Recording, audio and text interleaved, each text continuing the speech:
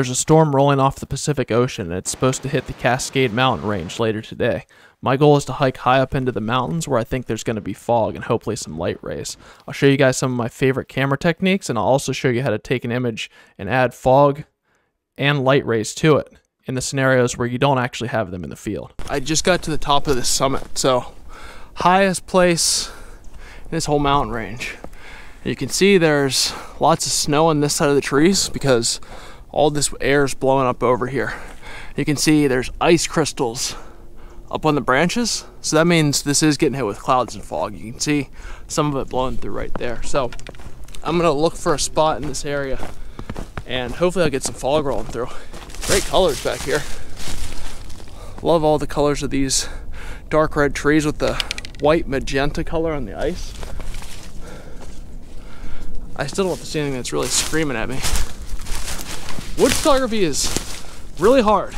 Just takes a lot of walking around and looking. I think these trees look real cool. I'm just trying to pick out like a center of attention. So I was looking at this one. It's not really that interesting, but I think those icy trees right there, where all this light's coming in from this side and lighting them, and all the dark trees around it. If I can manage to get a good angle at it. That's the really hard part. Sometimes when you're shooting in the forest, might work. It's that tree right in there. One thing to keep an eye out for when you're shooting the forest, if you see any chopped off like dead logs or old stumps, stuff like that, right here. See if there's any other ones. That, but like the really big ones that stick up in the photos, those always ruin photos. And if you're not looking out for them, they can get in there and you don't see it because your screen's so small and then you blow it up once you get home and you're like, oh.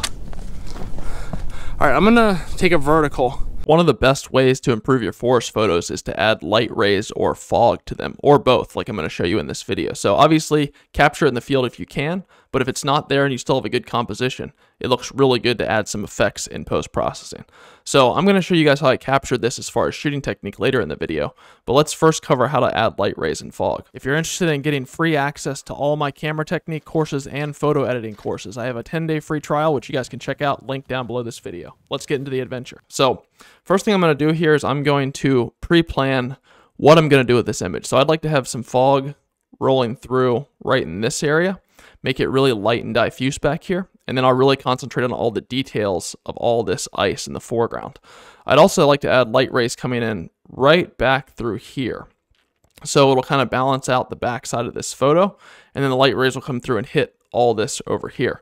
So the first thing, always kind of pre-visualize where you want the light rays and fog to be, and then do the editing off of that. So I'm going to make this a little bit cool as far as the color temperature, because if I have warm yellow or orange light rays, it looks really nice to have cool temperatures in the rest of the scene. You guys can check out Dave Morrow and Color Theory. If you Google that, my whole color theory guide will come up. This is called a complementary color harmony with yellow and blue. They lie across from each other on the color wheel.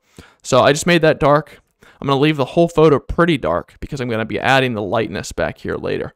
So I'll come down here to the curve and add a little bit of light. You can see it gets kind of weird looking. You want to stay away from that. So pull up a little bit of this and I'm going to crop this.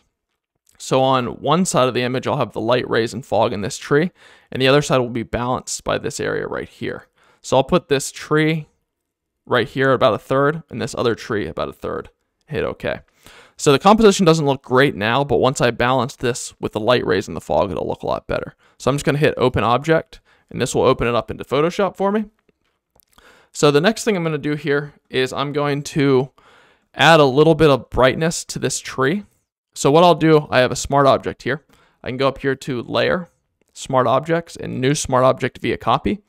And then if I click on this, it'll jump right back into camera raw. So if you want to be able to have this functionality for yourself, whenever you're in camera raw, just go down here and then just put this color space in whatever color space you use. But the key here is to click open in Photoshop as smart object and then it'll always open in Smart Object for you and you can jump back and forth. So I'm just going to watch this tree right here and I'm going to pull up the lights just so I can bring some attention to this tree. Now the rest of the image isn't going to look right. I'm just concentrating on the brightness that I want this tree. So I'll hit OK here. And then I'll come over here. I'm going to apply a black layer mask to the whole thing. Grab my brush tool here. And I want it to be a white brush. And then I'll just make this brush fairly big, flow 100, smoothing 100, opacity 50, and just do a few touches of light back on this tree. And then I'm going to do a few touches of light right here and right here. So this will kind of surround the foggy area. And then of course, if you wanted to dial the opacity up and down, you can just darken it a little bit till it looks good to your eye. So somewhere right in there looks good. And then if you wanted to remove any of the brush, you could go back to your black brush. If you thought this was too bright, you could just darken it down just with a few clicks of black brush there. All right, so that looks good. The next thing we're going to do is add some slight fog back here. So I'm just going to hit this plus button, and I'll call this fog.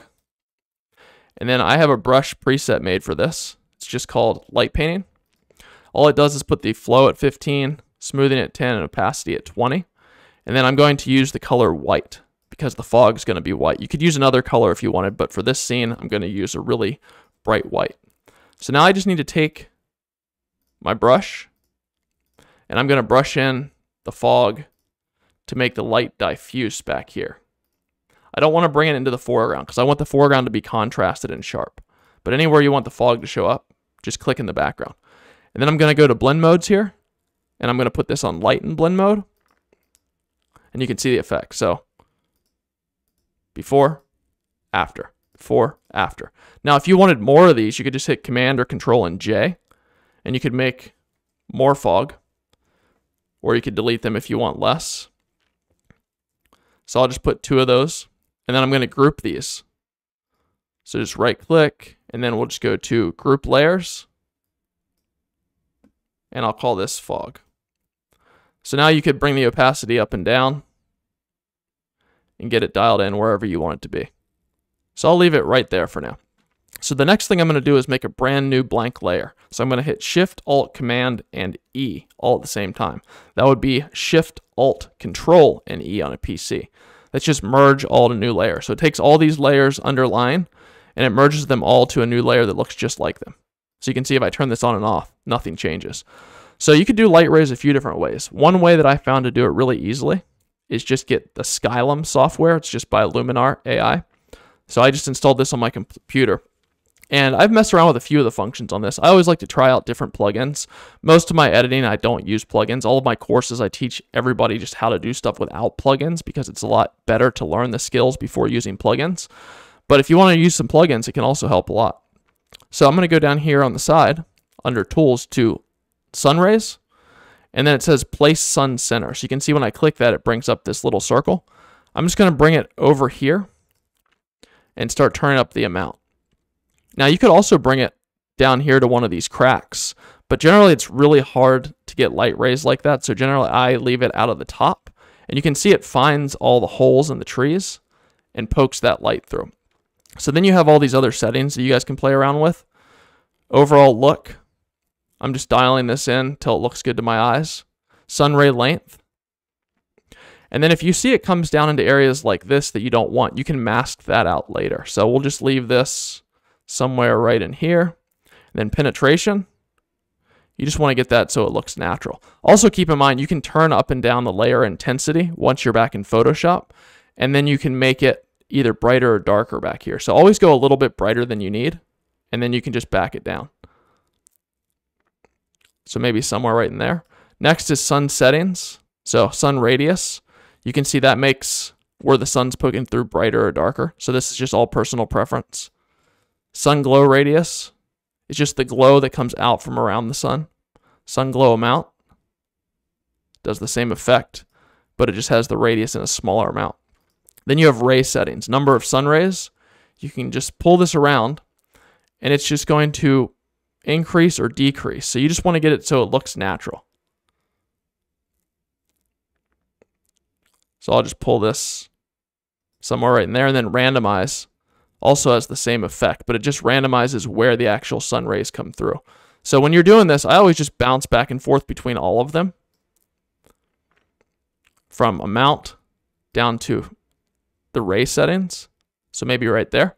And then warmth is the actual warmth of the sunlight. So you could go from off. So it's like a white color, but I'm going to add some yellow into it so it'll offset this blue for my complementary color harmony. So maybe somewhere right in there. So sun warmth is the actual sun up here. Ray warmth is the color of the rays coming out. All right, so after you get that all close, you can just start moving this around so it looks good. You can also move this around once you get that dialed in to see if you can get a better place. So do that for a while. You'll eventually get it dialed in so it looks natural. And once you have that, you just click templates here and then click apply. And that's gonna just pop this right back into Photoshop. So now that we're in Photoshop, I'm gonna label this sun rays. And you can turn this up and down from opacity to 100 down wherever you want it to be. That's why I always go a little bit overboard. And then you can also put a layer mask on it. And if the sun rays get down into an area you don't like, like down here, I'll just go back to my masking brush, flow 100, smoothing 100, opacity 50. And I'll get my black brush here. And I just want to make sure that it doesn't get down into the foreground too much. So I'll just make sure it's not coming anywhere that looks weird down here in the foreground. And then anywhere that's in the shadow, for example, somewhere back here that would be getting blocked, it's good to just take your brush through there so you don't have these unnatural sun rays coming through. Something like that. And then you can turn this on and off to get an idea if you like the underline effect more. So over here, I like how there's a lot more contrast. So I'm just going to brush through here with my black brush because I don't want that sun ray layer effect over here because I like how all the trees look over here. So before, after. So I think that's starting to look good. So we can pull that back in there. So you can also just brush out any rays you don't like. So for these that are coming down into this area, if you just didn't like how it looked, you could brush some of those out if they just look unnatural to your eyes. And just slowly take your time until all that looks good. All right, great. So this is the overall effect for the base layer image. So you could just group this all into one. And I'll just call it base layer. And I just call that base layer because in an ideal world, I would have shot these conditions out in the field. And now you can start applying the rest of your photo editing to this actual process. So now that the composition's all dialed in, let's get through the settings. So for this one, I'm zoomed in pretty far. We're at 100 millimeters. And these trees are pretty close to me in the foreground. So even if I focus on these trees in the foreground down there, I don't think that tree is going to be sharp in the background. The really hard part about a shot like this is that both of these things are moving because that fog's just blowing through. So they're moving at different times and you have to take different shots for focusing on them. Now the hard part is they'll never line up perfectly. So ideally you want to get this all in one shot if you can. So I'm going to try it first by just focusing on this bottom branch coming in here, right here. And if that's not sharp, since that holds the whole bottom of the shot together, the rest of the shot's not gonna work. So this has to be sharp. So I'm gonna focus about a third into the bottom of the scene. So just cutting it up one third, two thirds, and putting it on that third right on that branch there. So I'll just zoom in using this OK button. It just zooms in at 100%. Back button autofocus and then dialing that focal ring till it's perfect. Now, you can see it moving there. See that slight movement from the breeze blowing through? So you need a shot to fire off real quick to capture this one. Next thing I'm gonna do is I'm gonna go with F16. I'm gonna see if I can get this all in one shot. I doubt it's gonna get that sharp and that tree sharp, but if it's even close, it's so much easier to take that single exposure, just freeze both of those versus layering them up when they're both moving. That's super hard to do. So always aiming for the easiest photo editing method first, and then that's gonna give me six seconds. So what I'm gonna do here, starting at base ISO or ISO 64, I'm just gonna push my exposure all the way up to the right. In dark wood scenes like this, it's extremely important to start with your exposure bright because you wanna capture as much light from the scene as possible. So the scene on the back of the camera is gonna look way brighter than this because the histogram's pushed all the way over to the white edge so I can capture all that dark detail down here on the bottom. If I would have done a regular exposure, say where my photo matched my scene, notice how that bottom left hand of the histogram, the blacks, is shifted way over towards black. If I expose to the right, you'll notice as I get brighter, my shutter speed gets longer. I'm capturing more light about from the scene.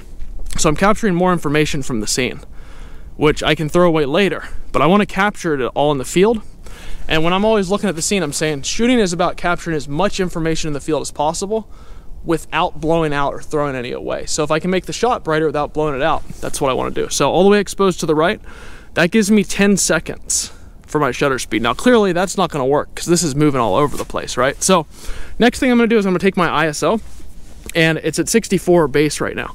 I'm going to start increasing that to 400. Actually, I'm going to go 500. My camera starts to really drop off in image quality around ISO 500. It's a Z7. But test your camera and see where that ISO max is where you really lose image quality. If you're shooting a dark scene like this and you need shutter speed, you're going to have to go up an ISO and you need to know where that max is. So if you hit it, you'll know the next step is to darken the image instead. So I went up to my max size, my max usable ISO 500. I still have 1.3 second shutter speed. So now I have to darken the image down or open up the f-stop. But I want to cover this whole scene if I can in one shot. So I can't drop the f-stop. It's got to stay up high, f16. So that means I have to darken the image down. So I'll just darken this down in exposure compensation. A stop and a half. That gives me a half a second shutter speed. That's probably still not going to be fast enough. I'm going to keep my eye on those branches right there. And when the wind stops hitting them, that's when I'm going to fire this off. I'm still going to put a two second timer on this because at this far zoom, it's really going to show all the shake. So I'll fire one off right there. That's the review. I'm going to look at the focal point first, which is right down here. And you can see it's always important to look at the focal point first because if that's out of focus, then none of the rest of the image matters. You can see that's really out of focus. Let's see if it kept it sharp back to the trees in the back. So F16, when I'm reviewing these trees in the back here, they're still not sharp, which means the depth of field for one shot, even at F16 is not gonna cover it. So now I know that that's not gonna work. I'm gonna have to focus stack this scene. So that lets me know that I can go down an f-stop and I'll get a much faster shutter speed because I have to focus stack these anyway. It doesn't matter if I decrease the f-stop. So let's go to f11. That gives me a quarter of a second shutter speed and I'll zoom in, make sure my focus is good on these branches, and then fire that one off too. That's a quarter of a second. So that still might not be fast enough. And you can see the decision or logic tree I'm going through here. That's almost there. So they're still moving a little bit. Let's see how far back that focus goes. Make sure it goes back to my furthest away branch right here because if it doesn't I need to increase my f-stop to cover that. Now it gets everything sharp, the focus starts to drop off back on those trees back there which I knew it would. All right so now I have two choices. I go up in ISO, that's going to reduce my image quality. I can't drop the f-stop anymore because if I do I'll lose that furthest away close branch. So I have to go darker here make that shutter speed faster to freeze those branches. So I wanted to teach you guys two really important things here. And if you want to read further in depth on this, you can get my free PDFs that explain all my sharp focus techniques, my f-stop techniques, and my ISO techniques. And that's down below the video. So you can take it out shooting with you and it'll walk you through the step-by-step -step process. So as I describe in that free PDF, whenever you're shooting out in the field and you have low light scenarios, it's much better to have a sharp and underexposed image than an overexposed or exposed to the right image that's not sharp. So this is the first shot I took and I focused right down here on these trees and I had to make it pretty dark because I had to get this fast enough shutter speed to freeze these branches moving around. Then I just refocused, everything else the same, but I refocused back here. And what you're going to notice here is that even at ISO 500, if I zoom in here, I'm really underexposed, but I can take this exposure slider and notice how much dark detail I can pull out of this shot and there's hardly any image degradation, even at ISO 500. So always much better to underexpose and shoot it sharp than expose to the right and not have it sharp enough. Always just keep an eye on your shutter speed. Like I said, there's those free PDFs down below. You guys can read through those and it'll give you a really good understanding of this. Another trick you can use instead of focus stacking is you could zoom out a little bit. So I took this one at 54 millimeters and I visualized where I wanted the vertical crop to be inside the horizontal. So you can see this was taken at 94 millimeters. So the depth of field for 94 millimeters, I really have to increase the f-stop to f16 or I have to focus stack. But when I'm shooting at f11 or f16 at 54 millimeters, everything's sharp from one single exposure because I'm zoomed out so much further. This is another thing that I explain in those free PDFs that I link down below.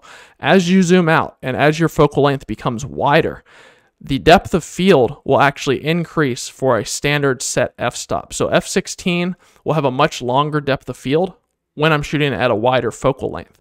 So what I could do here is I could just crop this one down in to my vertical, something like this and that, wherever it looks good to your eyes. I'll just do this quickly. And now you have one shot that's sharp for the entire image. And I don't need to use focus stacking. I can just shoot at f16. So that's a really good trick you guys can use as well. So let's finish up on the camera technique. So those look good. So now I can concentrate on that tree back there. I don't have to worry about the foreground so much. This is where it gets hard because there's this overlap in depth from that thing that's poking out right there, that branch, and what's behind it that might be moving. So we'll see if we can do this. It's always an experiment, but if you walk yourself through the experiment and why you're making the decisions, then when you get back to the computer, you won't be wondering why you took which shots for which reason. And if it didn't work, well, at least you know you tried and you made the right moves on it. So that's why that's so important to walk through it like this. So I'm just gonna move my focal box back to that icy tree back there. Back button focus and I'll dial my focal ring a little bit back and forth, just wiggle it to make sure that that back button focus nailed the shot, but I think it was as sharp as it gets right there. So I'm gonna keep all the settings the same here because I still need that fast shutter speed to freeze those moving branches.